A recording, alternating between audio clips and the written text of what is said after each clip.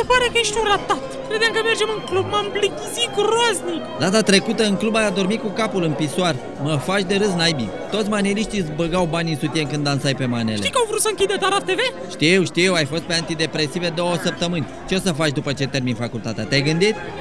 O să fiu asistenta lui Capatos.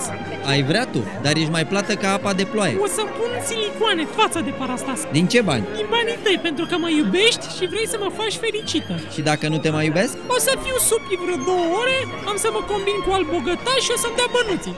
Fraierică! Servus, gonflabilo! Hai, fată, mai mergi în club? Imediat, îmi dau fondul de tem cu șpaclu.